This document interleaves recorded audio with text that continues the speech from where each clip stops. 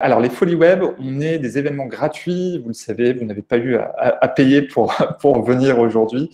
Euh, notre sujet, c'est d'aider les TPE, les entrepreneurs à réussir sur Internet. Donc, on traite de sujets qui sont très, très, très majoritairement liés au digital. Euh, et euh, on a hâte, on en parlait à l'instant en préparant le, le, webinaire avec Lucas, on a hâte de revenir en présentiel. C'est pas pour tout de suite. Pour l'instant, on fait des folies webinaires. On en a à peu près un par jour. On en a eu bah, même huit euh, la, semaine dernière pour vous donner un, ordre d'idée. Euh, n'hésitez pas à aller sur notre site lesfolieweb.fr, comme ça vous avez tout notre programme. Je pourrais vous le remettre euh, en, lien. et puis, on est présent sur les réseaux sociaux. Vous le voyez, il y a le replay qui est disponible sur, euh, sur YouTube euh, et on va bientôt le mettre disponible plutôt sur notre site d'ailleurs pour que ce soit tout au même endroit, ça sera plus clair et puis on, va enrichir notre chaîne YouTube un peu différemment. Je vous dis ça en, teasing, restez, restez connectés, on pourra vous en dire plus bientôt. Et pour bah, vous expliquer, on nous demande tout le temps, mais comment ça se fait que vous, faites ça gratuitement? Euh, et bien simplement parce qu'on a trois partenaires qui nous permettent de, faire ça gratuitement, justement pour vous, euh, qui sont réussir en .fr, Ionos et Neocamino, euh, qui sont très impliqués sur le sujet des entrepreneurs et des TPE. Le premier, c'est réussir en, .fr, c'est c'est un programme de l'AFNIC, qui est une asso qui gère bah, les noms de domaine en .fr. Donc, quand vous avez, alors là, c'est pas le sujet aujourd'hui, mais quand vous avez un, choisir votre nom de domaine quand vous avez un site, c'est-à-dire l'adresse de votre site. Euh, si vous choisissez du .fr, et eh ben c'est euh, via l'AFNIC que ça se passe. Euh, et ils ont surtout, enfin aussi et surtout, tout un tas de ressources qui sont disponibles à travers leur plateforme réussir en .fr. Donc n'hésitez pas à aller faire un tour. Et pour ceux qui ne l'ont pas déjà fait, moi je trouve que c'est le bon moment en début d'année pour faire un peu le point sur comment on va être performant, est-ce qu'on est, où est-ce qu'on est bon, où est-ce qu'on est moins bon. Et vous avez la possibilité euh, de le faire. Je vais vous mettre le lien tout de suite. C'est un, audit, un diagnostic gratuit. Hop, prend 10 minutes environ. Et voilà, je vous l'ai mis dans le, dans le chat. Le deuxième partenaire, bonjour Stéphane. Euh, le deuxième partenaire, c'est Ionos. Eux, ils proposent tout un tas de solutions. Vous le voyez ici. Euh, ce pas forcément le sujet aujourd'hui, donc je ne vais pas rentrer dans, le détail. Simplement, sachez, si vous n'avez pas encore de site Internet, euh, qu'ils euh, ont une offre qui est intéressante si vous souhaitez mettre en ligne une première version de votre site, très simple, euh, où euh, du coup c'est une offre gratuite euh, pendant 30 jours et après c'est 5 euros par mois seulement. C'est pertinent pour vous si vous souhaitez un site vitrine et ils ont aussi d'autres offres, yonos.fr slash web. Donc n'hésitez pas à, aller faire un tour, à regarder si il y a quelque chose qui peut vous intéresser parmi leurs offres. c'est notamment, enfin et principalement sur la création de sites, que ce soit site simple et vitrine ou site e-commerce. Euh, et puis le troisième partenaire, euh, et après j'en aurai fini, c'est Neocamino. Neocamino, ils ont une démarche qui est extrêmement intéressante. C'est une entreprise qui est spécialisée euh, pour accompagner des petites entreprises dans leur réussite, générer plus de chiffre d'affaires et notamment grâce au digital.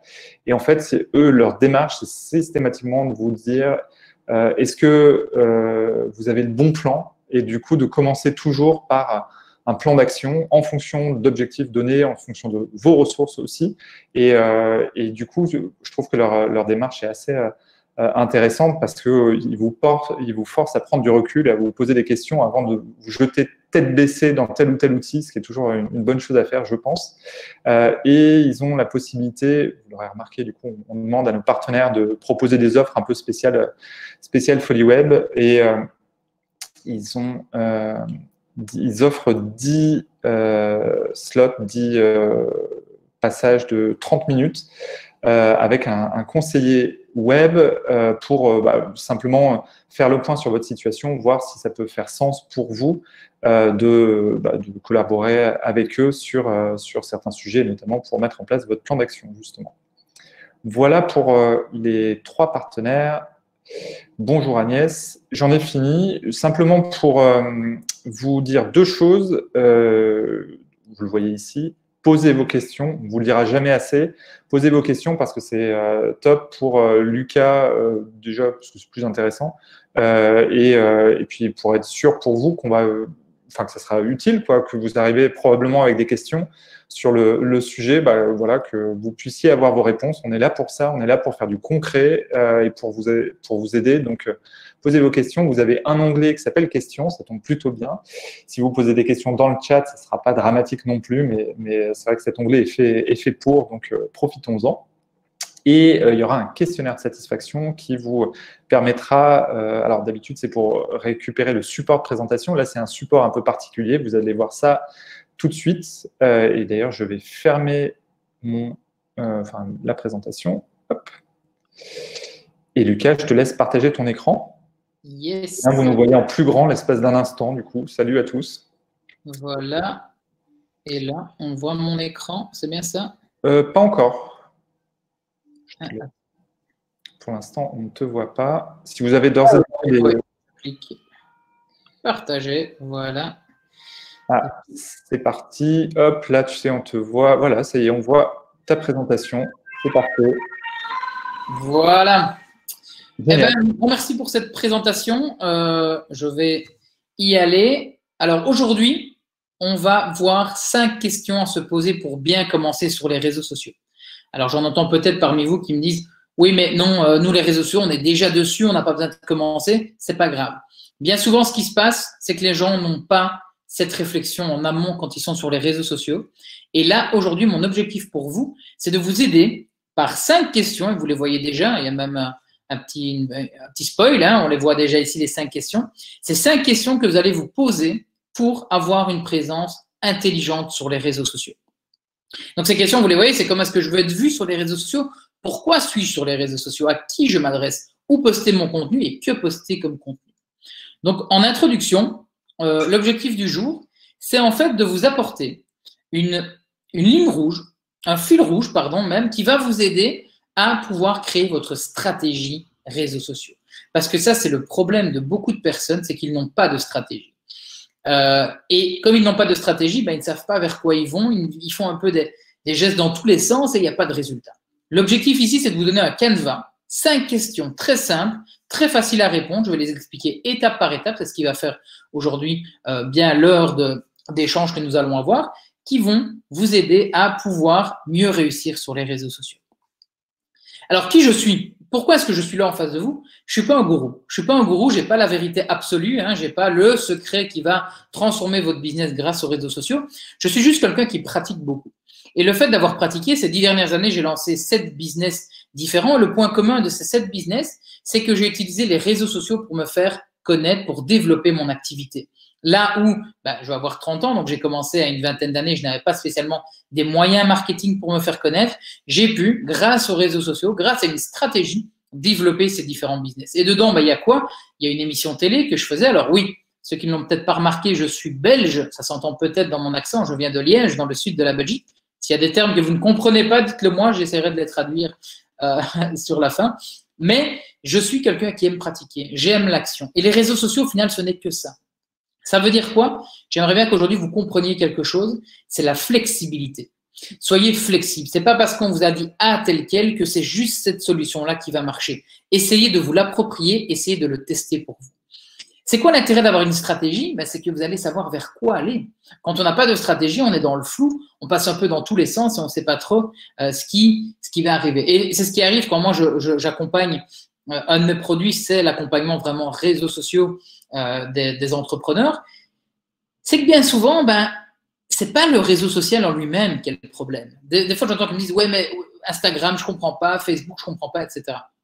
Ce qu'il faut comprendre, c'est que toutes ces fonctionnalités qui existent sur tous ces réseaux sociaux, c'est bien beau, ok, ça fait cool de les utiliser, mais il y a un point qui est important, et on le verra dans la question 5, c'est pour ça que je vous invite vraiment à rester jusqu'au bout, en tout cas, regardez le replay, c'est que poster comme contenu. On va voir ici ce qui est vraiment important pour vous, ce qui est important pour votre business pour le faire décoller. Donc, on va rentrer directement dans le vif du sujet. Alors, un petit changement par rapport aux autres webinaires que je donnais, s'il y en a qui m'ont déjà vu, c'est que je ne vais pas répondre du tout aux questions pendant la présentation, je prendrai du temps à la fin. Pourquoi? Parce que bien souvent, il y a des gens après qui sont perdus un peu dans le, dans le fil de la, de, de la formation. Et donc, je préfère vous donner vraiment la matière et puis alors prendre 5 à 10 minutes sur la fin pour répondre à toutes vos questions. Alors, on va rentrer dans le vif du sujet. Question 1. comment je veux être vu sur les réseaux sociaux? À quoi ça sert de se poser cette question? Ça va être en fait de définir son positionnement. Et là, vous allez me dire, Lucas, quel est le rapport des positionnements et des réseaux sociaux? Tout d'abord, c'est quoi un positionnement? Et à quoi ça sert? L'objectif d'un positionnement, c'est de pouvoir se différencier des autres. C'est d'avoir une position qui va faire en sorte que les gens qui vont consommer votre contenu, qui vont être votre audience, va pouvoir, euh, va pouvoir se faire en fait ce qu'on appelle son propre Wikipédia de vous. Ok, telle boîte égale ça. Dans mon petit Wikipédia, vous voyez, dans Wikipédia, on a le nom de la personne et puis tout ce qu'elle fait. C'est exactement pareil dans la tête des gens. Cette entreprise-là, qu'est-ce qu'elle fait? Et il se fait son petit euh, Wikipédia de ça. Donc ici, c'est vraiment comment est-ce que je veux être vu? Et là, l'idée, c'est être vu comme on le souhaite. Ça veut dire quoi cette phrase? Ça veut dire que, imaginons, vous voulez mettre en avant certains points, comme, euh, je ne sais pas, moi, je suis une entreprise dynamique, je suis innovante, je suis, etc. etc. Le but, c'est que si vous posez la question à un de vos clients ou à une personne de votre audience, dis-moi un peu comment tu me définirais en trois mots, eh bien, il faut que ces trois mots y correspondent. Et c'est ça l'intérêt de définir son positionnement, c'est qu'en plus de vous différencier, vous allez être vu comme vous le souhaitiez. Combien parmi vous peut-être se sentent frustrés? Frustrés pourquoi? Parce qu'en fait, ils savent qu'ils sont talentueux, ils savent qu'ils ont, ils savent qu'ils ont mais les gens ne le voient pas. Et ça les frustre aussi, mais enfin, je suis là, je le fais. Le problème, c'est que le positionnement n'est pas assez clair. Le positionnement, c'est aussi le processus qui va accélérer le filtre que vont faire les gens. Pourquoi? Aujourd'hui, on est dans un monde d'infobésité. On a de l'info de partout. On a de l'info euh, sur les réseaux sociaux, à la télé, à la radio, dans les journaux, peu importe, partout. Et donc, aujourd'hui, le filtre que font les gens, c'est bullshit ou pertinent. L'objectif avec votre positionnement, c'est que les gens vous voient directement comme pertinent et non comme bullshit. Parce qu'une fois que vous êtes dans la catégorie bullshit, je peux vous dire que c'est très rare que les gens reviennent vers vous derrière, sauf si vous vraiment des efforts, mais ça, c'est plus compliqué. Donc, l'idée ici, c'est de définir votre positionnement. Alors, vous allez me dire, mais c'est bien beau, mais comment est-ce qu'on définit un positionnement? Un, il faut définir les trois mots qui vous définissent le mieux. Alors là, faites un petit exercice, peut-être pas maintenant tout de suite, mais faites-le peut-être après. Prenez une feuille de papier et notez tous les mots qui vous viennent en tête quand on parle de vous. Tac, tac, tac. Qu'est-ce que vous voulez qu'on vous... si, on devait, décrire votre business en mots, quels seraient les mots qui viendraient? Notez-les tous. L'idée, ça va être après d'en ressortir les trois mots principaux qui vont rassembler tout ça. Utilisez les termes qui vont vous différencier des autres. Venir dire, nous, on est, euh, on est euh, euh, comment est-ce qu'on pourrait dire, nous, on, veut aider le client, on est fort sur le client, le service client. Tout le monde l'est au final. Donc ça, ça ne vous différencie pas. Qu'est-ce qui fait que vous êtes unique et que vous allez devoir mettre en avant ça? C'est ce que certains appellent aussi, euh, dans un autre cours de marketing et de vente que je donnais, c'est ce qu'on appelle l'avantage injuste. Qu'est-ce qui fait, qu'est-ce que vous avez que vos concurrents n'ont pas et dont ils pourraient vous envier? Ça, c'est aussi une question à se poser pour pouvoir définir son positionnement et pouvoir se différencier des autres personnes euh, par rapport à ça. Une fois qu'on a défini ces trois mots, c'est quoi l'idée qu'il va y avoir derrière? C'est que pour chacune de vos publications, vous allez les intégrer dedans. Et à force d'intégrer dedans, qu'est-ce qui va se passer? Ce qu'on appelle un impact. Vous allez avoir un impact sur les gens. C'est ce qu'on appelle aussi le, le top of mind. À force de répéter que vous êtes le meilleur, le plus bon, alors ce pas les bons exemples, mais c'est pour vous donner vraiment l'idée, à force de, répéter, répéter, répéter quelque chose, à un moment donné, ça va se lier dans la tête des gens avec votre entreprise. Ok, le terme, euh, je sais pas moi, dynamique, ok, c'est cette entreprise-là à laquelle je pense. Euh, un exemple, je vais vous donner peut-être sera peut-être plus concret. A à l'époque, moi, quand j'ai commencé ma, très jeune carrière, j'ai eu la chance de travailler dans une microbrasserie ici en Belgique. Euh, et c'était une brasserie, la première dans notre grande ville qu'est Liège. Et cette bière, elle s'appelle la Cursus. Alors, si certains la connaissent, tant mieux. C'est qu'on a bien fait notre travail à l'époque. Si vous ne la connaissez pas, je vous invite vraiment à essayer de la découvrir. Elle est délicieuse. Voilà, j'arrête la pub. Cursus, quand j'ai fait le travail avec eux il y a quelques temps, les trois termes sur lesquels ils voulaient être, ils voulaient être, comment dire, ils voulaient être ciblés, c'était bière liégeoise, artisanale et microbrasserie. Ça, c'est les trois termes. Ils voulaient que lorsque quelqu'un parle de cursus avec ses potes, ils sortent au moins de trois mots. Est-ce que tu as vu la nouvelle bière liégeoise? Ou est-ce que tu as vu cette microbrasserie, etc., etc. Une fois qu'ils ont défini ces trois termes-là, ils les ont intégrés dans leur publication. Aujourd'hui, notre microbrasserie a ta ta ta ta ta. N'hésitez pas à retrouver votre bière liégeoise dans ta ta ta ta ta. Euh, nos produits euh, locaux d'artisans ta ta ta ta. Et en fait, à force de répéter, à force d'intégrer l'idée dans vos publications, inconsciemment, ça rentre dans la tête des gens et on commence à lier cette information avec votre entreprise. Le point 3, le dernier point, c'est trouver d'autres façons de le dire. Ne pas toujours répéter la bière artisanale, etc. etc. C'est par exemple dire la bière, de la cité ardente ou la bière. Voilà. Je n'ai pas les exemples ici pour celui-là, mais essayez de, de, ne pas toujours répéter la même chose parce que sinon, ça va ennuyer les gens. Donc, ça, c'est le premier point c'est définir son positionnement. Comment voulez-vous être vu? Et c'est important de comprendre que vous êtes vu comme vous agissez. S'il y en a qui disent je suis vu comme un loser, bah, c'est parce que vous agissez comme tel. Si mon entreprise n'a pas une belle image, c'est ce n'est que le reflet de ce que vous lui apportez. Donc décidez vous-même qui vous êtes, comment vous voulez être vu et communiquez dans ce sens-là. Donc ça, c'est la première question que l'on va se poser, c'est euh, définir son positionnement. Comment est-ce que je veux être vu sur les réseaux sociaux?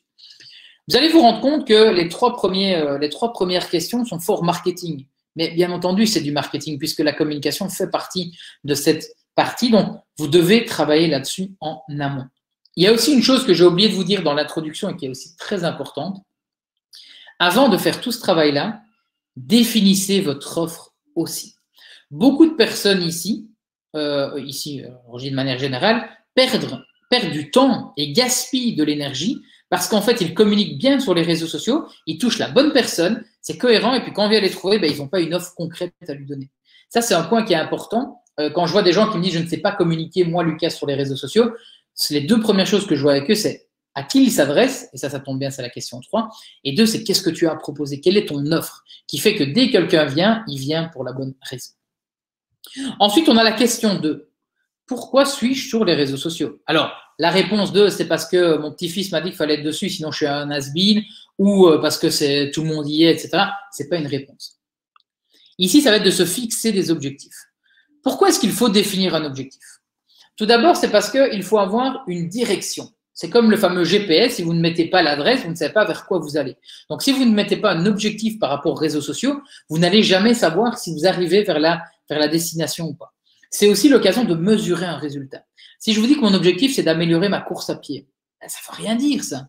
Ça ne veut rien dire. Par contre, si j'arrive à définir à quel moment, euh, de combien de secondes, etc., là, je vais pouvoir mesurer un résultat. Et bien souvent, quand je rencontre des gens, je leur demande est-ce que ça fonctionne pour toi les réseaux sociaux? Et ils ne savent pas me répondre parce qu'ils n'ont pas de mesure d'objectif à me donner. Et c'est ça ici l'idée de cet objectif, c'est fixez-vous ces fameux objectifs. Alors comment est-ce qu'on se fixe des objectifs Moi, j'ai deux méthodes. Il y a la méthode SMART que vous connaissez sûrement certains si vous êtes dans le, marketing ou que vous avez eu des cours de marketing ou tout simplement parce que vous y intéressez. Euh, et j'ai même rajouté deux lettres à ça. Euh, c'est un Américain qui a rajouté ça, alors je ne sais plus dire son nom. Mais la méthode SMART d'abord. Votre objectif, il doit être spécifique. Vous devez le citer. Il doit être mesurable, c'est-à-dire qu'on doit pouvoir mesurer les résultats. Il doit être ambitieux mais atteignable. Il doit être réaliste et il doit être temporel. Ce qu'on a rajouté, euh, ce qu'on m'a rajouté, bah, cet américain, c'est qu'en plus de ça, l'objectif, il doit être enthousiaste, ça doit nous donner envie de le faire et il doit nous permettre de sortir de notre zone de confort. Je prends un exemple par rapport aux réseaux sociaux. Je veux 3000 nouveaux abonnés dans les six prochains mois. Est-ce qu'il est spécifique? Oui. Est-ce qu'il est mesurable? Oui. Est-ce qu'il est ambitieux? Bah Oui. Aujourd'hui, j'en ai, euh, j'en ai 2500 euh, que j'ai eu en un an et demi, donc euh, c'est possible, c'est ambitieux, mais c'est atteignable. Est-ce qu'il est réaliste? Oui. Je ne demande pas un million d'abonnés dès demain. Est-ce qu'il est temporel? Oui, j'ai dit dans les six mois. Est-ce qu'il m'excite? Bah, Oui, ça me rend enthousiaste. Euh, est-ce qu'il me fait sortir de ma zone de confort? Oui, parce que pour arriver à ça, je vais devoir faire des choses que je n'ai pas fait. Donc, chaque fois que vous allez vous fixer un objectif, n'hésitez pas à le faire glisser dans cette matrice SMART pour vraiment avoir un objectif concret. Pourquoi? Parce que si je vous dis, voilà, j'aimerais améliorer ma course à pied dans les six prochains mois pour arriver au temps. Après deux mois, vous allez savoir si vous êtes déjà à deux tiers de l'objectif ou pas et vous allez pouvoir corriger. Parce que quand vous ne savez pas ce qui ne marche pas, bah, les résultats derrière ne fonctionnent pas. Donc c'est ça qui est important ici, c'est en se définissant un objectif, vous allez pouvoir mieux avancer parce que vous allez pouvoir rapidement prendre euh, des, décisions, vous allez pouvoir changer d'angle, vous allez pouvoir vraiment avancer plus correctement. Et la deuxième façon de faire, c'est de découper l'objectif en trois façons, court, moyen, long terme. Qu'est-ce que je veux dans les trois prochains mois? Qu'est-ce que je veux dans l'année qui suit? Et qu'est-ce que je veux dans les trois prochaines années? Dans les prochains mois, je veux peut-être euh, avoir 100 abonnés sur ma page. Dans l'année qui suit, je veux avoir X, euh, X témoignages de clients ou autant d'interactions. Dans les trois ans, je veux avoir des ambassadeurs qui limite répondent aux questions à ma place quand il y a une question sur la page, etc. Donc, définissez vos objectifs, c'est important. Alors, par rapport aux objectifs, par rapport aux objectifs réseaux sociaux, qu'est-ce qu'on peut aller chercher comme objectif? Le premier, c'est la visibilité, claire et nette. Les réseaux sociaux restent un outil gratuit qui aujourd'hui vous permettent d'être visible. Deuxième chose, l'amélioration de votre image de marque. Alors, je le mets en parenthèse parce que ça voudrait dire que peut-être vous aviez par le passé eu un bad buzz ou quelque chose comme ça. L'utilisation des réseaux sociaux peut vous aider à améliorer votre image, peut vous apporter en fait de la transparence. Ça, c'est important. Ça peut augmenter votre crédibilité. Ça peut être ça aussi l'objectif, c'est devenir un expert sur sa thématique. Un autre objectif, c'est l'humanisation. Vous avez une entreprise et l'idée, c'est de mettre de l'humain au centre de ça. Et ça, vous allez voir que dans la partie réseaux sociaux, l'humain, il ne faut pas le négliger. Ça veut dire que c'est pas à qui fera la plus belle photo, etc. C'est celle qui fera la plus authentique et la plus humaine possible. On y reviendra dans la cinquième question. Ensuite, l'objectif, c'est euh, vieux vs expérience. Il y en a souvent qui sont peut-être là depuis 20, 30, 40 ans.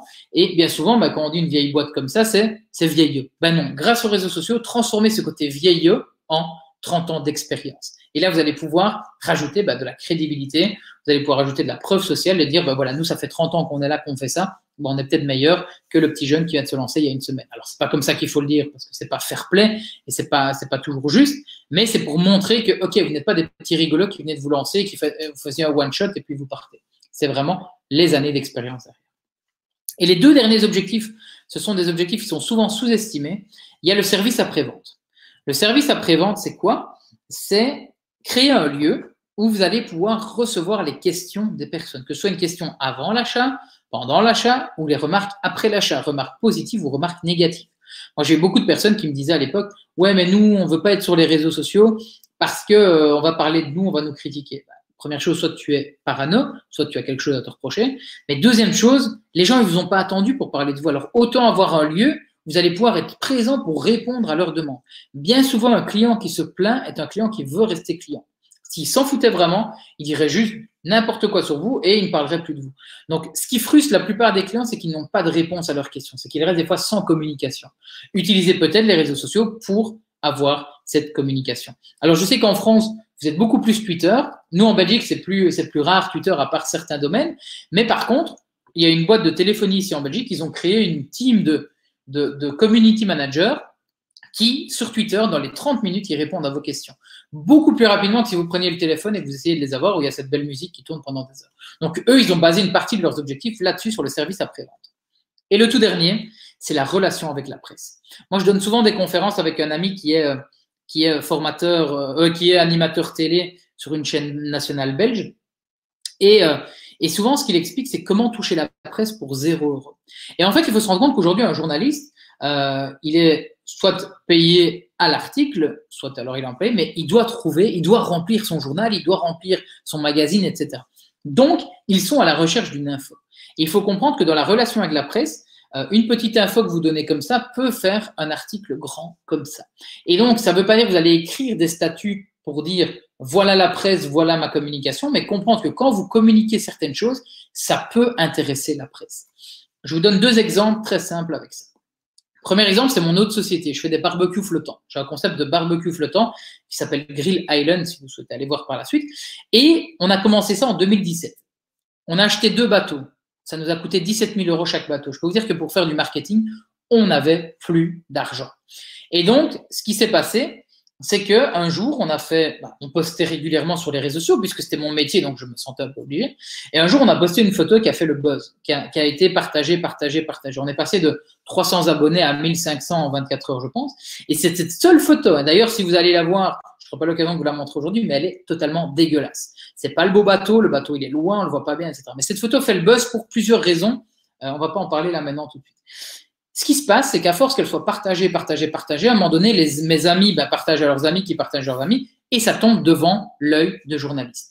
Après ce JT-là, euh, après cette publication-là, on a eu plus de 20 présences euh, dans les médias. Que ce soit en direct dans un JT national, vu par des millions de personnes, que ce soit sur des magazines super connus, euh, dans des journaux super connus, des journaux entrepreneuriaux, etc. C'est ce qui a fait que derrière, on a explosé. Donc la relation avec la presse, ne la négligez pas. En communiquant, même si vous ne communiquez pas parce que vos clients ne sont pas à tel endroit, vous pouvez euh, communiquer pour le, relation publique en fait. Et donc c'est communiquer. Voilà, je sais pas, les, journalistes des fois, il leur manque quelque chose, ils réfléchissent et puis là ils voient tiens une entreprise de la zone parisienne vient d'engager euh, son, dixième euh, son dixième employé après trois mois. Hop, faisons un article là-dessus, c'est pour donner un peu de comment dire d'optimisme dans tout ça, etc. Donc la relation avec la presse est très importante. La deuxième exemple, ce sera très rapide avec Cursus justement, donc Cursus qui est la, la microbrasserie on a été invité à la fête du roi. Chaque année, le roi fait une petite fête où on peut déguster euh, certaines bières. Et mon patron venait de finir une formation Photoshop à l'époque. Il était tout fier d'avoir fait un montage où il avait pris la photo de notre roi qui était Albert à l'époque et son fils Philippe, qui était assis les mains comme ceci. Il leur avait intégré une bière dans la main. On a partagé ça sur les réseaux sociaux. La cursus s'invite à la bière du roi, etc. Et on a été repris par les médias qui ont fait parler de nous, parler de nous. Alors la petite anecdote, c'est on arrivait le jour de la fête du roi sur place, le responsable communication n'était pas très content avec le fait qu'on ait pris l'image du roi. On a joué la naïveté, on a fait pardon. Et ça, c'est ma phrase préférée que ne la répétez pas, mais c'est plus facile de demander pardon que de demander la permission. Donc voilà. Relation avec la presse, ça veut dire que ça, ça peut être. On a tous envie aujourd'hui d'être dans, dans la presse, dans les médias. Quand vous envoyez un communiqué de presse, bah, c'est comme un CV, hein, ils regardent plus où est-ce que c'est sympa ou pas. Mais quand ils vont chercher vous, vous, ils vont vous chercher pour votre sujet vous allez voir que derrière, ils vont en faire un plus grand article. C'est comme ça qu'on a eu des demi-pages dans des journaux, etc. Notre activité, elle a tourné grâce à une publication. Alors, on a continué après, mais cette publication-là qui a changé vraiment notre vie. Alors, attention, quand vous mettez un objectif, il faut mesurer le bon résultat. Quels sont les résultats qu'on peut attendre euh, de nos objectifs? Bah, C'est plus de likes sur les publications, plus de commentaires, plus d'avis positifs, plus de recommandations ou de mentions, plus de demandes de contact, plus d'échanges avec la communauté, etc. Ça veut dire que oui, tous ici, vous voulez gagner plus d'argent. On est bien clair. C'est ça le but de tout le monde, mais c'est pas en postant une publication sur les réseaux sociaux que l'argent va tomber directement. On est sur quelque chose qui est plus de l'ordre de la réputation. Et donc, quand vous dites, ben voilà, moi je veux euh, avoir plus de visibilité, ben, l'objectif à voir derrière, c'est comment est-ce que je peux définir mon plus de visibilité? Eh ben, c'est peut-être, et je ne l'avais pas mis, c'est peut-être la portée euh, des personnes, la portée euh, des personnes atteintes. On a touché autant de personnes. C'est-à-dire que ce mois-ci, on a touché 200 000 personnes. Voilà, derrière, ça va entraîner qu'il y aura sûrement un chiffre d'affaires augmenté si vous faites bien les choses, parce que drainer 200 000 personnes et ne pas vendre derrière, c'est un peu triste. Là, il y a peut-être un problème avec votre offre, mais c'est comme ça qu'on mesure chacune de ces choses. Donc ça, c'est important. Un, définissez des objectifs. Deux, essayez de savoir les résultats, parce que les résultats, ça va vous permettre aussi de vous donner euh, de manière quantifiable quelque chose. Moi, je travaille beaucoup avec des clients qui me disaient, c'est quoi le retour sur investissement, c'est quoi les résultats? Ben, Qu'est-ce que tu attends? Et alors, moi, je leur donnais, bah, c'était plus de likes, de publications, etc. Donc, on essaie de mettre en place des choses qui faisaient qu'ils pouvaient comprendre. C'était tangible, parce que de la réputation, c'est quelque chose qui est beaucoup plus compliqué. Donc, ça, c'était la question de à qui je m'adresse? N'hésitez pas s'il y a des questions, parce que là, je ne vois rien, j'ai mon écran, mon écran ici en face des yeux. N'hésitez pas à le mettre dans la partie questions et je prendrai un peu de temps dans 20 minutes pour y répondre à chacune. À qui je m'adresse? Qui est mon public cible? Dites-vous une chose, quand vous parlez à tout le monde, vous ne parlez à personne. Essayez de définir qui est votre client idéal. Avec qui avez-vous envie de travailler? À quoi est-ce qu'il ressemble? À quoi euh, Quels sont ses problèmes? Qu'est-ce qu'il attend de nous? Quels sont ses rêves, etc. Plus vous allez connaître cette personne, plus quand vous allez communiquer, ça va avoir de l'impact. Je le redis, quand vous parlez à tout le monde, vous ne parlez à personne. À quoi ça sert d'avoir un public cible? Ça va vous aider déjà à améliorer votre marketing. Votre marketing par rapport à quoi? Par rapport au choix des canaux, vous allez trouver vos clients. Bah, est-ce que ça vaut la peine d'aller sur TikTok alors que je cible des professionnels de plus de 55 ans? Ben non. Euh, donc c'est important de définir qui est ce public-ci parce que vous allez pouvoir faire des actions marketing qui ont du sens. Et pareil pour votre message. Le message que vous allez partager dans vos publications réseaux sociaux, mais pas que, dans vos vidéos, sur vos pages de vente, plus vous allez connaître votre public cible, plus vous allez avoir facile à pouvoir communiquer avec lui, pouvoir le toucher. C'est ce qu'on appelle aussi, et ce n'est pas le sujet ici, mais je fais la petite parenthèse, l'inbound marketing. L'inbound marketing, c'est quand vous allez créer du contenu qui va attirer votre public cible. Parce que imaginons, votre public cible, c'est euh, l'ancien sportif de 35 ans qui a eu une carrière euh, de haut niveau à l'époque et puis qui a arrêté bah, parce que la vie a continué et qu'il il veut s'y remettre, mais il a du mal. Bah, le fait de savoir ça, vous allez pouvoir directement savoir les questions que lui se pose. Bah, comment redémarrer? Comment euh, retravailler mon mental. Et en fait, en créant du contenu qui va répondre à ces questions, vous allez attirer à vous des personnes qui seront cibles. Donc, quelles questions vous poser pour définir ce public cible? Ben, Faites-vous ce qu'on appelle un persona. Alors, Moi, j'ai mis prénom en parenthèse parce qu'il y en a des fois qui vont très loin dans les personnages, mais essayez de vous faire une image de qui est cette personne. Quel âge est-ce qu'elle a? Est-ce que c'est un homme? Est-ce que c'est une femme? Est-ce qu'il est célibataire, marié, avec des enfants, divorcé? Quelles sont ses passions? Quelles études est-ce qu'il a fait? Quel est son métier aujourd'hui et quelle est alors sa situation financière Je vais le mettre aussi en parenthèse parce que là, ça correspond à l'offre aussi. Euh, si vous mettez une offre à 4000 euros pour quelqu'un qui cherche un emploi, ça n'aura pas de sens. Donc, essayez de définir ça. À quoi ça sert de faire tout ça? C'est que vous allez visualiser qui est cette personne. Et une fois que vous visualisez qui est cette personne, vous allez pouvoir utiliser un langage que lui comprend et vous allez vous sentir aligné avec les personnes. C'est ce qui fait qu'aujourd'hui, il y a des, pages comme ça qui ont une communauté incroyable. Ils ne touchent pas tout le monde, mais ils ont touché les bonnes personnes dans leur domaine qui fait qu'ils sont intéressés par ça. Donc le public cible, c'est très important. Question 4. Où poster mon contenu? Alors ça, c'est effectivement la question qu'on me demande. Quel est le choix des plateformes? Où est-ce que je dois être présent? La première réponse que j'ai envie de vous donner, c'est que c'est en fonction de votre client idéal, tout simplement. D'abord, quel est le comportement qu'il a, ce client idéal? Sur quelle plateforme est-ce qu'il a l'habitude d'aller? Ça, c'est la première question.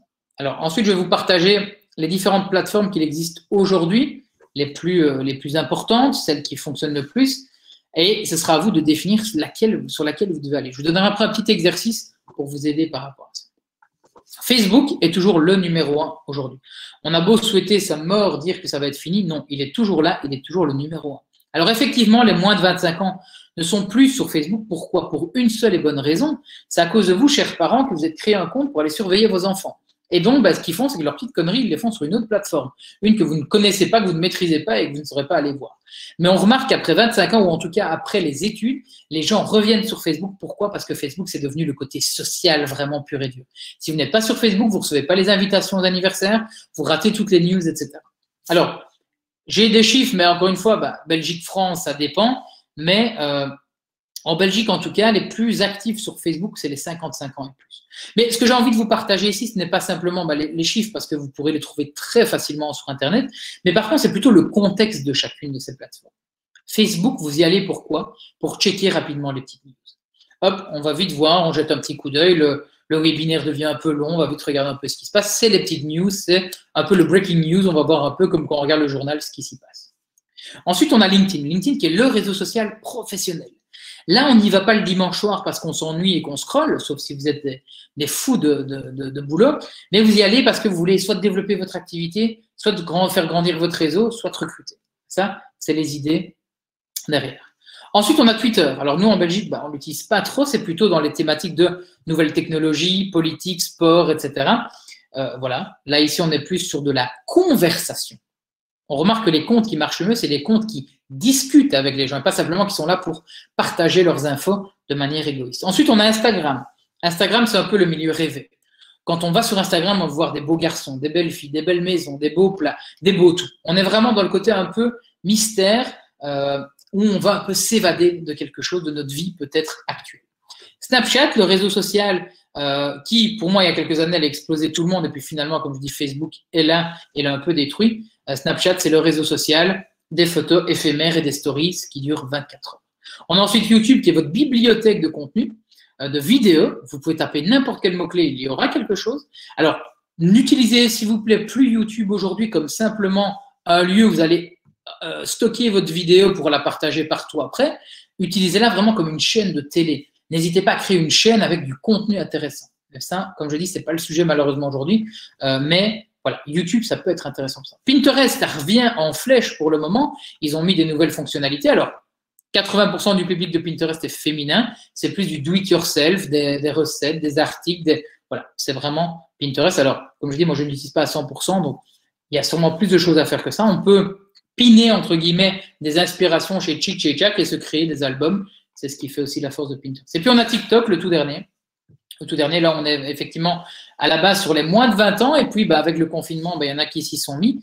Et c'est ce qui se passe en fait toujours, hein, si vous regardez. C'est toujours les jeunes qui sont les premiers à oser quelque chose de nouveau, et puis après, on a les générations suivantes qui commencent à les suivre. Euh, ce qu'il faut par contre comprendre, aussi un point très important, et là ça n'a rien à voir avec le choix des plateformes, mais si vous regardez les dernières plateformes qui, qui ont été créées, TikTok, Snapchat, Instagram, on est sur une communication créative. De plus en plus de communication maintenant, sont par le côté où l'attention des gens devient encore plus compliquée à avoir. Et donc, on doit être sur du bref, du qualitatif et qui nous permet de hop, tirer sur les yeux. Euh, donc voilà, ça c'est vraiment important. Alors il y a un truc que je ne vous dis pas parce que moi j'appelle pas ça trop réseaux sociaux, mais il y a aussi les podcasts qui sont beaucoup de retours par rapport à ça, mais on n'en parlera pas aujourd'hui. Alors l'exercice que je vous demande par rapport à ce qu'on vient de dire, c'est définissez trois réseaux sociaux dans l'ordre de pertinence pour votre business. Alors j'ai pas encore vu qui faisait quoi, mais entre nous, pour la plupart des gens, les principaux réseaux sociaux, c'est Facebook, c'est LinkedIn, c'est Instagram et c'est YouTube. Pour le moment. Alors encore une fois, ce n'est peut-être pas pour tout le monde, mais en tout cas, pour moi, c'est les principaux qui fonctionnent encore bien aujourd'hui. Et ne, tombez pas dans le piège d'avoir ces nouveaux gourous qui vous disent voilà la nouveauté, voilà où il faut être. Apprenez d'abord à bien gérer ce que vous faites déjà. Et moi, pour vous, j'ai un conseil appliquez la loi de Pareto. On va, y, on va y revenir après encore à cette loi de Pareto 80%, 20%. 80% de votre temps, vous le passez sur le réseau social que vous maîtrisez, avec lequel vous êtes à l'aise, que vous savez faire, et 20% de votre temps, vous allez vous intéresser, curieux de ce qui se passe chez les autres. Moi, TikTok, au début, je me suis créé un compte, mais je n'ai rien posté. J'ai été regarder ce qui se faisait, quel type de contenu était partagé, comment est-ce que les gens arrivaient à hacker TikTok pour l'utiliser d'une autre manière et pour développer peut-être leur business. Et ensuite, à ce moment-là, une fois que j'ai compris, je peux m'y mettre. Mais là, ce n'est pas encore le cas. Je n'ai pas encore pris le temps. Mais soyez, gardez 20% de curiosité pour vous aider à découvrir ça. Parce que, je le dis tout le temps, on ne revient jamais en arrière. On ne revient jamais en arrière. Donc, ceux qui pensent encore que les réseaux sociaux, ça a juste une passe, on va revenir à quelque chose de traditionnel, non, on ne revient jamais en arrière. Donc, ça, c'est par rapport au choix des plateformes où poster votre contenu en fonction de votre client idéal. C'est le point important. Et le dernier, c'est la question pour moi la plus importante. C'est que poster comme contenu? Parce qu'au final, les fonctionnalités des réseaux sociaux, on s'en fout.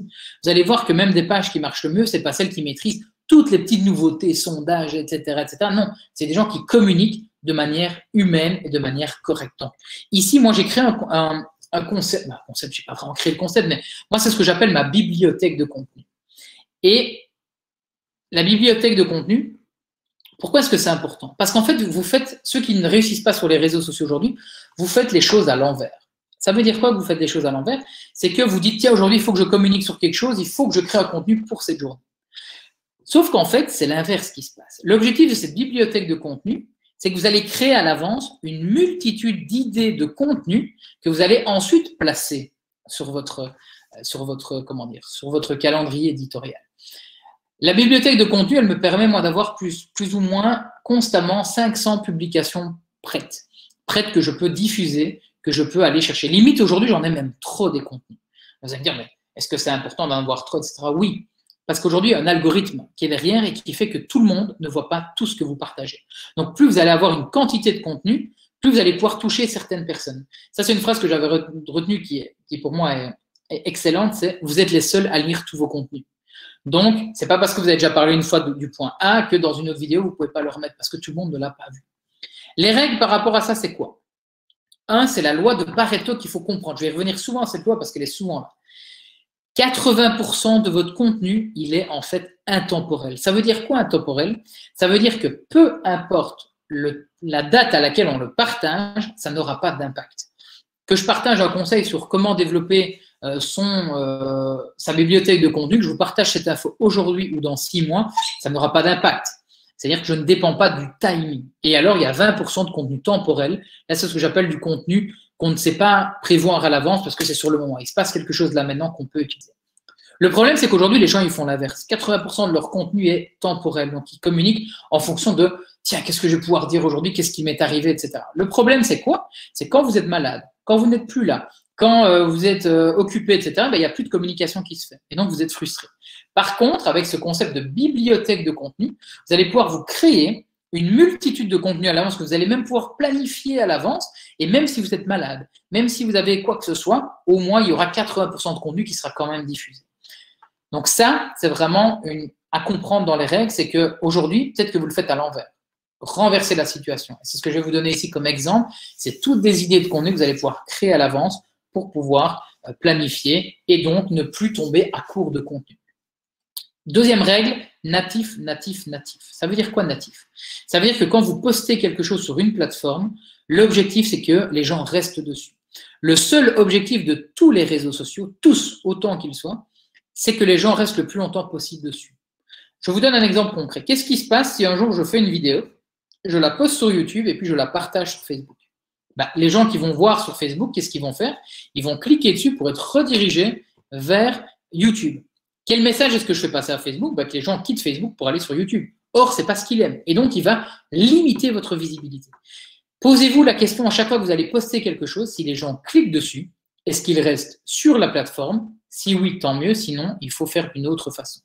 L'astuce par rapport à la vidéo YouTube, moi, ce que je vous conseille de faire, c'est vous poster une photo sur Facebook, par exemple, et dans le texte, vous mettez pour en voir plus, et là, vous mettez le lien de la vidéo YouTube.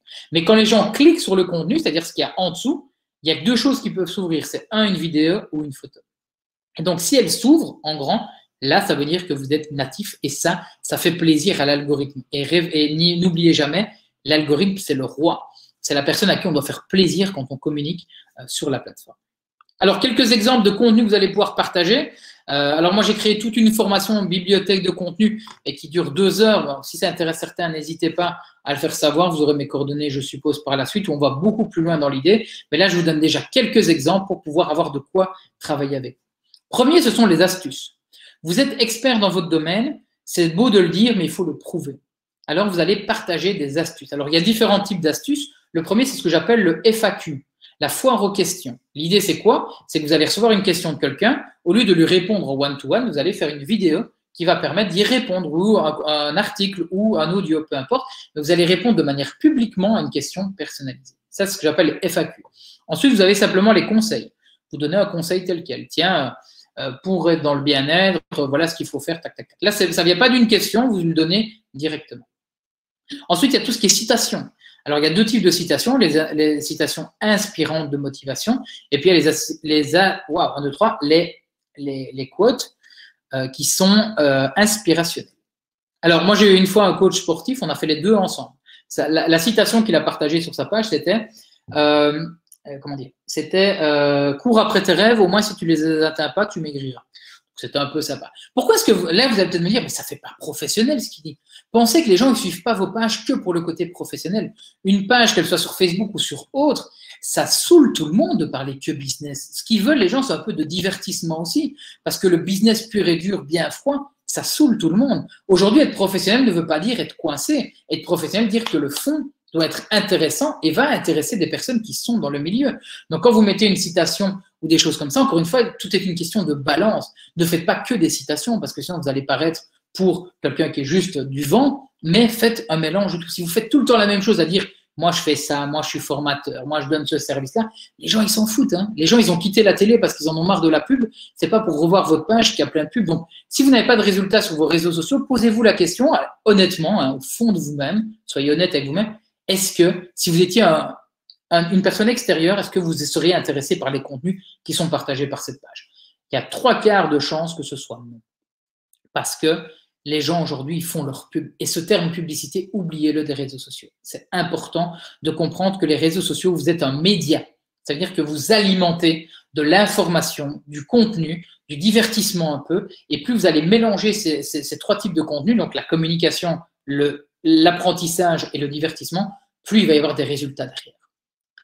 C'est tout con, mais moi, une des vidéos que je faisais à l'époque dans mon ancienne agence, j'avais créé une agence de communication euh, qu'on n'a plus, c'était on répondait à une question de quelqu'un, mais en vidéo. Et je le faisais un peu sous format show télé, c'est-à-dire qu'au lieu de simplement dire oui, euh, bonjour, alors je réponds à la question, c'était tiens, aujourd'hui on va répondre à la question 2. Voilà, il y a un petit côté, des petites animations, un petit côté fun. Ça faisait que les gens, ils apprenaient, mais tout en n'étant pas saoulés par une vidéo. Moi, je rappelle toujours mon prof euh, qui lisait ses slides et qui était là, alors aujourd'hui, euh, page 36, nous allons parler. Non, ça donne pas envie. Donc, essayez d'être fun, essayez d'être un média, essayez de. Voilà. Et ça, ici, c'est des exemples qui vont pouvoir vous aider. Alors, les news. Les news, c'est les petites nouveautés qui sont arrivées. Ça, c'est ce qu'on appelle du contenu hot. C'est sur le moment, c'est temporel. Euh, vous venez d'avoir un article dans le journal, il y a la télé qui est venue, vous avez un nouvel employé, un nouveau stagiaire, etc. C'est toutes les petites news de l'entreprise.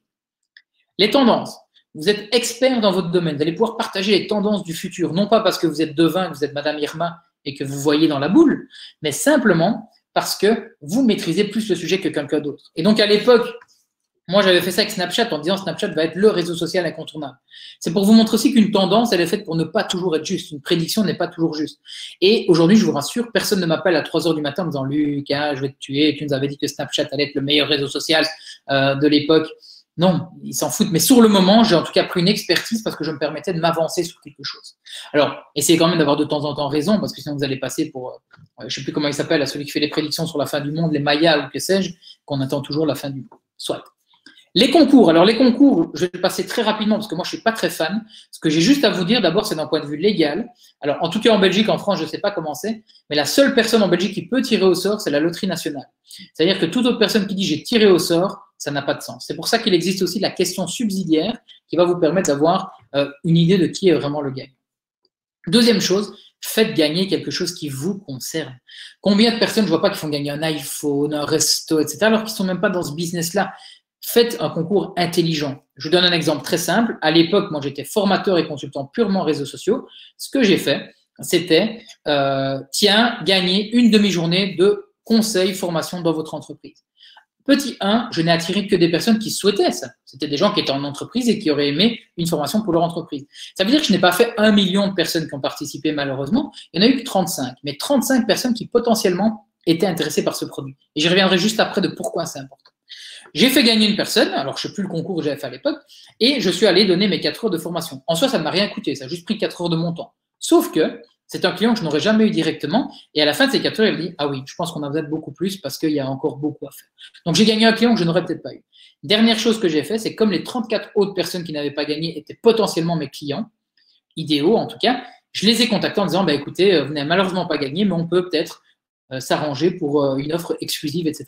J'ai signé 10 ou 15 clients ce jour-là d'accompagnement parce que j'avais attiré des gens qui étaient intéressés par ce que j'avais à proposer.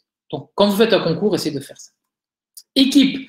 Mettez en avant vos équipes, mettez de l'humain en avant. Alors, si vous n'avez pas d'équipe, les partenaires avec qui vous collaborez, vos fournisseurs, etc. Mais mettez de l'humain. Ce qui marche très bien, c'est les anniversaires. Vous avez des employés, ben, le jour de leur anniversaire, vous partagez une petite photo en disant toute l'équipe souhaite un joyeux anniversaire à, et vous allez voir que ça va créer une chouette cohésion parce que l'employé lui-même va se sentir mis en avant et les amis, etc. vont pouvoir interagir et dire ah ouais, je vais travailler là, toi, etc. Donc ça crée vraiment un engouement. Deuxième chose, c'est pour le recrutement. Si vous cherchez à recruter, aujourd'hui, on sait que les nouvelles générations, bah, ils n'achètent pas comme ça, ils ne rentrent pas dans les boîtes, ils veulent un sens, ils veulent des valeurs, etc. Euh, qu'est-ce qui fait que tous les gens veulent aller chez Google, hein, tous ceux qui sortent de l'IT Parce que Google montre que le bien-être des employés est prioritaire. Euh, table de ping-pong, piscine, etc. Alors, je vous dis pas qu'il faut creuser une, une piscine dans vos bureaux, mais par contre, montrer en quoi c'est fun de travailler avec vous. Est-ce que peut-être qu'on peut travailler, voyager beaucoup? Est-ce qu'on peut, on a souvent des team building pour montrer qu'il y a une cohésion d'équipe, etc., etc. Mettez l'équipe, mettez de l'humain, mettez en avant vos équipes. Et ceux qui me disent, ouais, mais mes équipes ne veulent pas être sur les réseaux sociaux, je suis désolé, mais c'est professionnel. Quand vous allez sur un salon, vos employés ne se cachent pas derrière le, stand pour dire, ah non, je veux pas être vu. Non.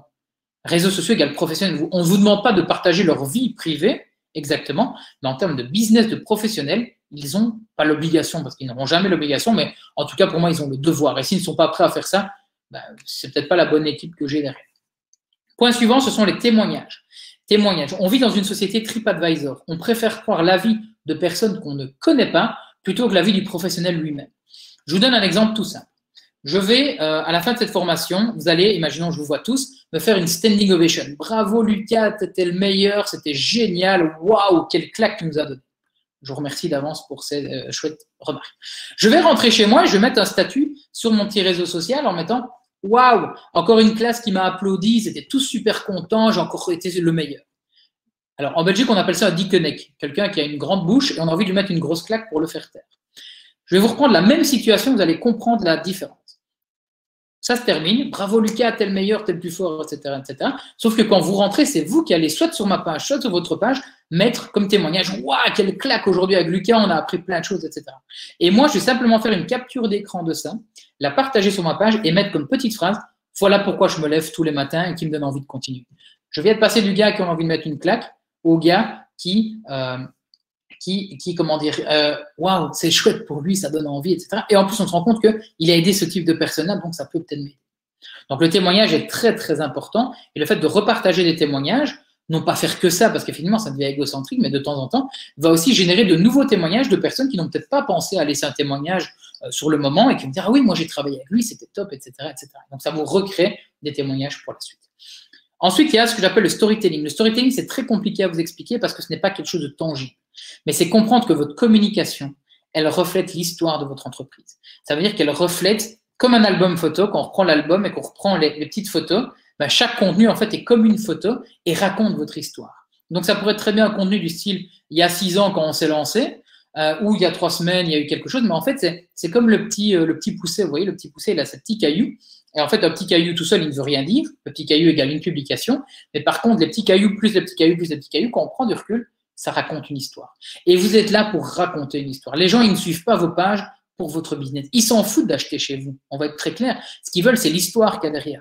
Moi, quand je vais faire mes courses euh, en supermarché, je commence pas à m'abonner aux pages de tous les produits qu'il y a derrière parce que je m'en fous de suivre ça. Par contre, si une de ces marques-là montre l'envers du décor, tout ce qu'il y a derrière, là, ça va me donner envie de la suivre sur les réseaux sociaux. Donc, devenez ce média, ce divertissement. Et je vous ai partagé deux bonus en plus. Euh, si toutes ces idées-là ne vous parlent pas, parce que là, si vous êtes rendu compte, à aucun moment on a parlé de vos produits et de vos services. Donc là, en fait, il y a encore une loi de Pareto ici. C'est 80% de contenu général pour 20% de contenu. Ça veut dire que de temps en temps, vous pouvez faire un appel à l'action. Euh, rejoignez ma newsletter, euh, venez découvrir, contactez-nous, etc. Mais il faut donner plus que ce que vous nous demandez. Et vous allez voir que ceux qui donnent beaucoup plus que ce qu'ils demandent, il y a beaucoup plus de résultats derrière. Les deux derniers bonus que je vous partage, et puis je répondrai à vos questions parce que je vois que le temps avance. Euh, première chose, si vous n'avez pas le temps de créer ces contenus, de créer cette bibliothèque de contenu, ce que je vous recommande, c'est de faire ce que j'appelle documenter. Documenter plutôt que de créer. Ça veut dire quoi? Ça veut dire que le réflexe, c'est juste de sortir ce petit téléphone de votre poche et de raconter ce que vous êtes en train de faire. Je prends l'exemple. Là, ici, on est en formation. Hop, je fais une photo et je partage en mettant simplement comme texte aujourd'hui webinaire sur comment créer sa stratégie réseaux sociaux pour des entrepreneurs et des TPE françaises en partenariat avec les Folies Web. Là, vous pourriez vous dire, mais il raconte sa vie. Quel est l'intérêt de ça? Le truc, c'est que, euh, comment dire, le fait de pouvoir, euh, excusez-moi, ça a sonné, il y a sûrement un livreur, mais je vais continuer ça sans souci. Euh, documenter, c'est simplement le fait d'avoir dit ça. J'ai pas donné cinq informations. Un, c'est qui je suis, qu'est-ce que je fais Ben, je donne des formations, je suis formateur. Deux, quel sujet Sujet des réseaux sociaux. Trois, pour qui Des TPE. Quatre, en collaboration avec qui Cinq, euh, par rapport euh, à quoi? Où est-ce que je peux aller me déplacer Donc, documenter, c'est juste avoir le réflexe de sortir ce téléphone et de pouvoir, de pouvoir comment dire, raconter ce que vous êtes en train de faire. À l'époque, moi, j'avais pas euh, j'avais pas le temps de créer du contenu. Euh, j'avais pas le temps de, pouvoir euh, créer le soir quand je rentrais parce que je formais du matin au soir, etc. Et documenter, simplement dire, tiens, aujourd'hui, je donne formation à tel endroit. et donc, ça, c'est important. Documenter votre contenu. Troisième, deuxième bonus, pardon. Dernier bonus, et puis on va répondre à vos questions. Les trois calendriers. Les trois calendriers, c'est quoi? Un, il y a le calendrier global. Vous allez prendre, alors sur Google, ça existe, vous allez prendre toutes je crois que vous tapez calendrier des temps forts sur Google et vous allez voir toutes les dates qui sont de manière globale. Saint-Valentin, Saint-Nicolas, Poisson d'avril, 1er avril, euh, Nouvel An, c'est toutes les dates qui concernent tout le monde. Alors, ça ne veut pas dire qu'une fois que vous allez les prendre, vous êtes obligé de communiquer dessus, mais on se rend compte que quand vous communiquez sur un sujet qui est euh, à l'actualité, bah, ça a du sens. On ne va pas parler de la Saint-Valentin le 1er avril, ça n'aura pas de sens. Il y a d'ailleurs une date qui est très connue pour ça, que vous connaissez peut-être déjà, c'est le 20 ou le 19 décembre, je ne sais plus, c'est le pull de Noël. Et vous voyez ce jour-là que tous les gens sont avec leur pull de Noël, et donc ça fait le buzz. Mais vous faites ça trois jours plus tard, ça n'a plus de sens. Donc ça, c'est ce que j'appelle le calendrier global. Le deuxième calendrier, c'est le calendrier de votre domaine, le domaine dans lequel vous êtes. Il y a le salon de l'auto si vous êtes dans la voiture. Il y a le salon de chip de check. Ça, c'est les dates qui concernent les professionnels du domaine dans lequel vous êtes. Et puis, il y a le dernier calendrier qui est celui de votre entreprise. L'anniversaire de l'entreprise, les journées portes ouvertes, euh, les événements que vous organisez, etc. etc.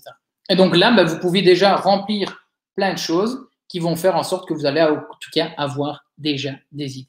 Mais retenez une chose, 80% de contenu intemporel que vous pouvez préparer à l'avance. Et ça, il y a une règle aussi qui est très simple. C'est plus facile de créer une fois 10 contenus que 10 fois un contenu. Ça va beaucoup plus vite de les créer d'un coup, etc. Il y en a plein. Les astuces, vous pouvez les prévoir à l'avance. Euh, les anniversaires, pareil, vous les connaissez déjà. Les témoignages, vous en avez peut-être déjà, vous pouvez les réutiliser.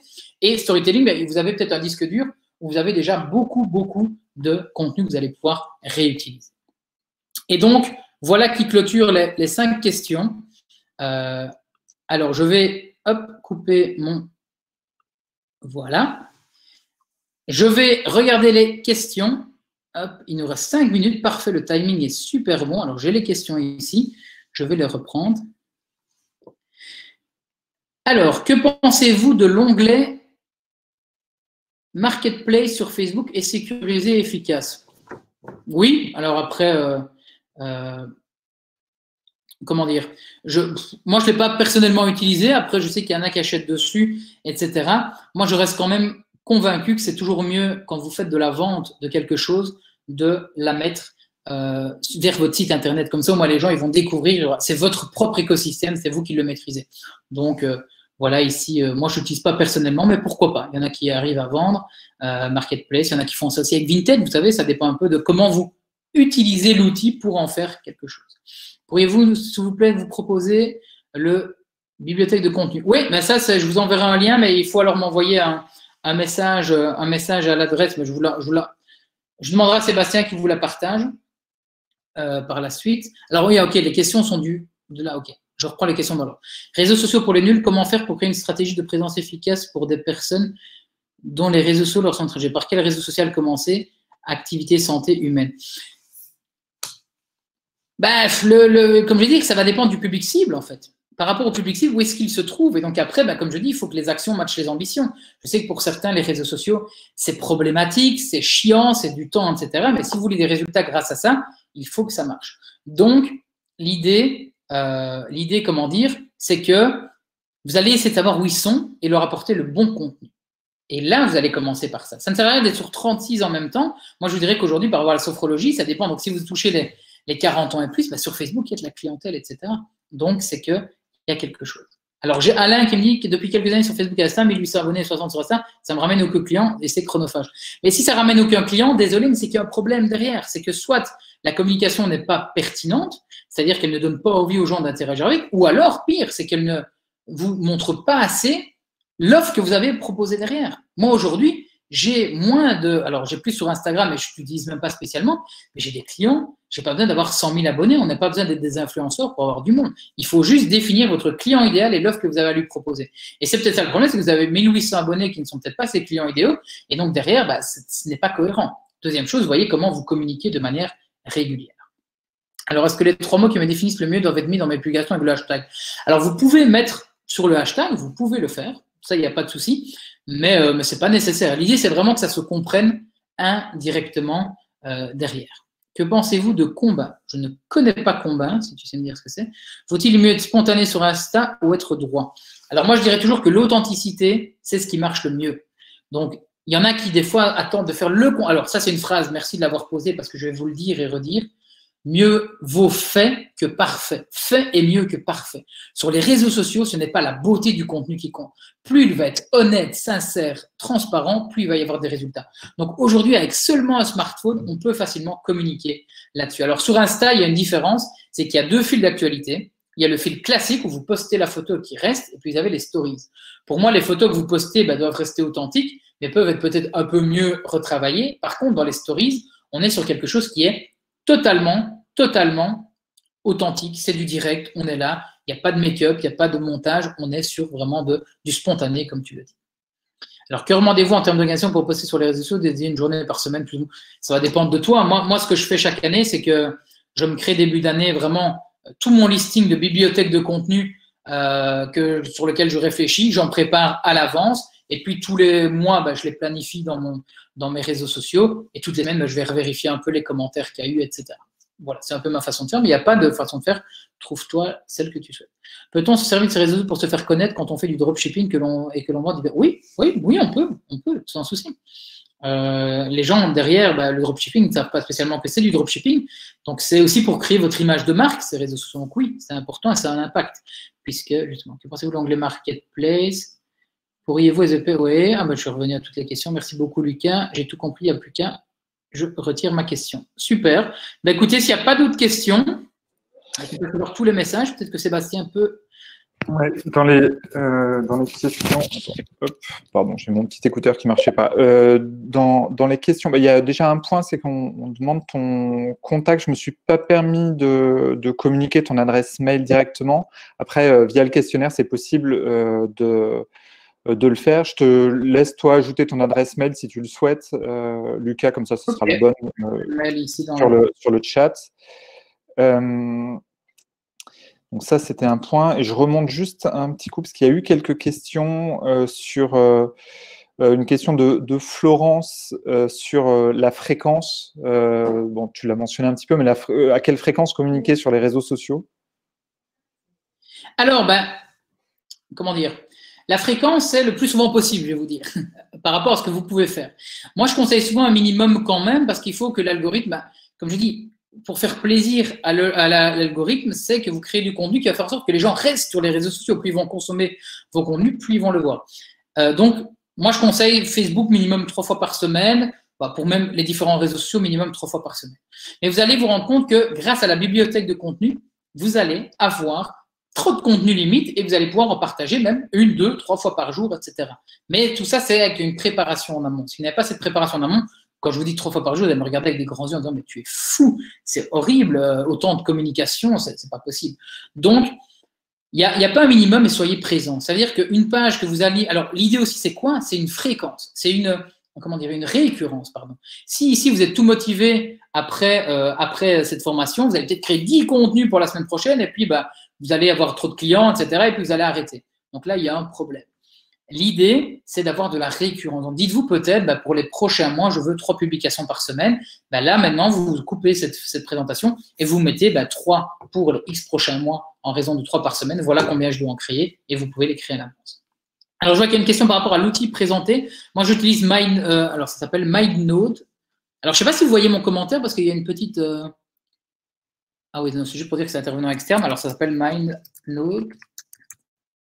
C'est un, mind mapping en fait. Et, moi, je préfère beaucoup mieux ça que des présentations PowerPoint parce que si j'avais dû faire obligatoirement des questions PowerPoint, je ne serais pas ici en face de vous parce que moi, c'est ce qui me retient alors que l'intérêt, c'est le fond plutôt que la présentation. Alors, est-ce que vous adressez la présentation? Vous allez la recevoir Yes. Merci pour ce partage. Merci à toi, Claire. Merci, Gonzague. Hein. je veux la photo ou alors tu applaudis. Non, je rigole. Euh, comment gagner en visibilité sur Instagram? Alors, très rapidement, parce que ce n'est pas le sujet de là-dedans, mais moi, j'ai la règle des 4 fois 25% Aujourd'hui, 100% du temps, les gens ils font de l'égoïsme, c'est-à-dire qu'ils partagent leur contenu comme ça, sans, euh, sans communiquer. Au lieu de faire 100% de ce temps-là, moi, ce que je te recommande, c'est de diviser en 4 fois 25%. 25% de ton temps, tu vas poster comme tu le fais déjà régulièrement. 25 autres de ton temps, tu vas aller commenter des publications d'autres personnes qui sont intéressantes pour toi. Pourquoi? Parce que le fait de commenter chez quelqu'un va apporter des commentaires chez toi. Donc, commenter, interagir avec d'autres personnes. Troisième 25%, les stories. Poster des stories et interagir dans les stories des autres. Et dernier 25%, et ça personne ne le fait, mais je vous dis, ça fonctionne, quand vous voyez quelqu'un qui interagit souvent avec vos publications, vous allez en message privé, en DM, comme on appelle ça sur Instagram, et vous lui adressez ce message en trois étapes. Un, merci de me suivre. Deux, qu'est-ce qui te plaît le plus dans ce que je partage? Trois, est-ce que je peux t'aider? Et vous allez faire ça. Alors, il y en a qui ne vont pas répondre parce qu'ils disent Ah, il va essayer de me vendre quelque chose. Mais non, vous allez voir, ça va créer une discussion. Et en fait, les réseaux sociaux, ce n'est que ça créer de la discussion. Donc voilà, ici les 4 x 25 pour avancer. Euh, je regarde s'il y a d'autres questions, je remonte, je vois en dessous qu'il y a encore des commentaires, ça blague, ça merci, belle découverte, merci. Quel est ton Instagram? C'est Lucas Beguin aussi. Euh, excellente présentation, une des meilleures que j'ai faites au Folie Web, bravo, merci. Ben, merci, ça me touche beaucoup euh, ce, genre de commentaires. N'hésitez pas, si vous avez d'autres questions, rajoutez-moi sur les réseaux, vous pouvez m'envoyer en message privé vos questions, parce que je, voilà, pas eu l'occasion de, de, parler de ça. Là, je vois encore d'autres questions qui viennent. N'arrête pas. Euh, il y avait, peut-être une question que Béatrice, pardon, excuse-moi Lucas, euh, il, y avait une question euh, que Béatrice a posée à la fois dans l'onglet questions et dans l'onglet chat. C'était dans B2B, c'est LinkedIn, point d'interrogation. Je ne suis, pas, sûr de quelle était la, question précisément, mais en effet. Oui, LinkedIn, c'est dans le B2B. Donc, on est vraiment, là, on s'adresse à des professionnels, soit qui sont dans leur entreprise, soit, comment dire, allez, après, je vais vous dire, ça marche aussi sur, Facebook. Ça dépend un peu de, votre public cible. Mais effectivement, là, si vous avez face à des responsables de communication, euh, recrutement, etc., ils sont plus sur LinkedIn. On est dans le B2B. Moi, j'aime pas trop le terme B2B, B2C. Ce que je préfère, c'est le, euh, le H to H, l'humain à l'humain. Et donc, euh, ça, c'est un peu la réponse. Alors, il y a plein, plein de questions, mais il y en a beaucoup qui sont un peu en dehors. Où trouver les règles des algorithmes? Bah, Ça, malheureusement, c'est moi, c'est par la pratique que je les ai eues parce qu'ils ne le disent pas. Comme ça, tel quel. Donc, c'est un peu en le testant. Mais retenez une des choses, c'est que le but des réseaux sociaux, c'est que les gens restent le plus longtemps possible dessus. En partant de ça, vous allez comprendre comment vous allez pouvoir faire. Alors, est-ce que vous conseillez d'utiliser un outil type suite Alors, pour Facebook et Instagram, il y a un outil que je vous recommande vivement, c'est euh, Facebook Creator Studio. Parce qu'en plus, c'est Facebook qui l'a créé lui-même. Vous allez pouvoir planifier comme ça et sur Facebook et sur Instagram. Euh, D'entendre faire une bibliothèque de par réseau social pour être cohérent. Alors oui, euh, mais tu peux avoir un contenu qui va être diffusé sur différents réseaux, mais attention à bien l'adapter pour chacun. Instagram, tu as plein de hashtags en dessous. Si tu mets plein de hashtags sur Facebook, ça n'a pas de sens. Donc voilà. Il y a encore plein de questions. Je vous dis, si je n'ai pas répondu à votre question, c'est parce que je ne vois pas tout comme ça d'un coup, c'est en train de défiler. Ce que je vous invite vivement à faire, vous avez vu normalement dans le chat, il y a mon adresse email. Euh, soit vous le faites, soit vous me contactez via mon LinkedIn. Euh, et, ou alors, je pense que sur ma page Facebook, vous allez pouvoir accéder à mon WhatsApp. Je préfère que vous accédiez à mon WhatsApp et que vous me la posez sur mon WhatsApp. Comme ça, je peux vous répondre en audio une réponse, une réponse pardon, mon accent liégeois, pardon, qui est un peu plus détaillée. Mais voilà, je ne saurais pas répondre à tout malheureusement. J'ai essayé de faire un maximum, mais n'hésitez pas si votre question, elle vous, elle vous fait du mal elle vous empêche d'avancer, vous me la posez, je, je, serai là pour y répondre avec grand plaisir.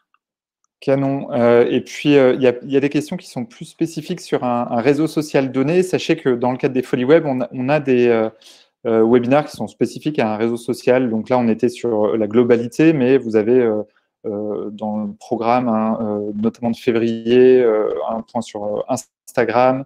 Euh, on va euh, faciliter dans les jours à venir aussi le replay. Donc, si vous avez loupé, vous vous rendez compte, tiens, j'ai loupé celui sur Instagram qui était hier ou avant-hier, bah, vous allez pouvoir le revoir hyper facilement. On va en avoir sur LinkedIn. On est en train de regarder pour, pour d'autres. Donc, bah, restez aussi euh, bien à, l'écoute des, prochains sur, sur les réseaux sociaux de données.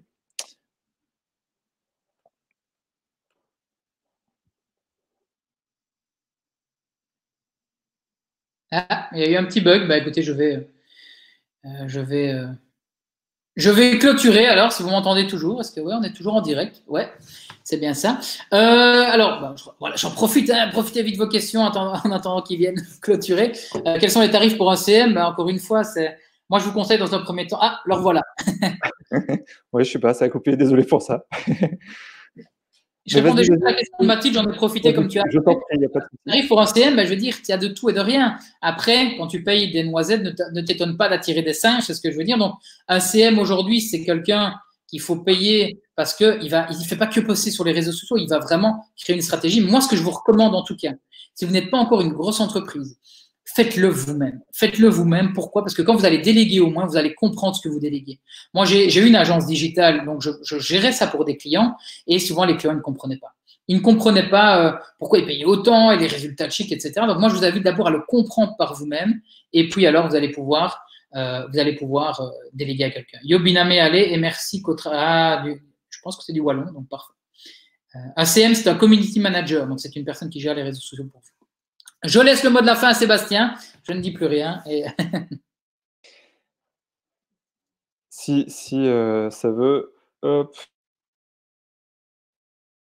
Ah, on ne t'entend plus, là. le micro a été coupé. Voilà. Ouais, ouais, j'ai des petits problèmes techniques. C'est mon ordi qui doit avoir faim. Non, mais merci mille fois, Lucas, comme d'habitude, pour ton dynamisme, pour, ton, euh, pour les, images aussi. Euh, à chaque fois, c'est de, plein d'images dans, dans, la tête qu'on va retenir. Donc, c'est c'est top. Euh, les commentaires parlent pour, euh, pour moi. Et puis, merci à tous pour euh, avoir suivi ce nouveau webinaire Folie Web. Et puis, à, très bientôt. Bon appétit, c'est bientôt l'heure. À tous. À bientôt. À bientôt. Bye bye.